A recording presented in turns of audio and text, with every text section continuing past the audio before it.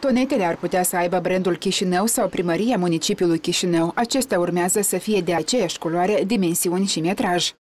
Aici noi am avea de câștigat ca venituri în municipiul Chișinău, doi și ca urbanism. Toate ar fi la fel, toate ar avea coșuri de gunoi alături, toate ar fi conectate la rețeaua electrică, deci totul ar merge pe, pe alb. Deși proiectul este încă la nivel de discuție, oamenii au păreri împărțite față de intenția autorităților.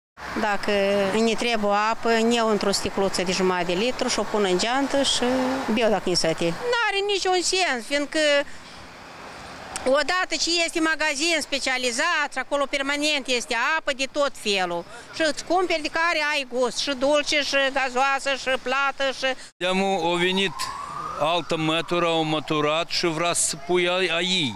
Proprii ghirete au fost la, la domnul uh, Chertoacă. Avea la fiecare pasa lui ghiretă cu cafea, cu toate cele. Da, e normal.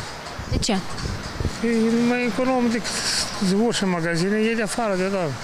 Potrivit șefului Direcției Generale Comerț, în acest an, unitățile de comercializare a apei și înghețate în parcuri încă nu au fost instalate. Până acum, la primărie, au fost depuse 58 de cereri din partea a 18 agenți economici pentru a li se permite amplasarea gheretelor în parcurile din capitală. De exemplu, parcul Ștefan cel Mare avem două zone. În uh, parcul Grădina Catedrale avem două zone.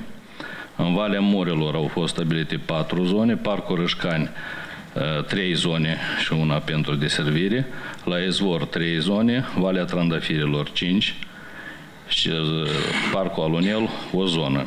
Gheretele agenților economici vor fi autorizate să activeze până pe 1 octombrie.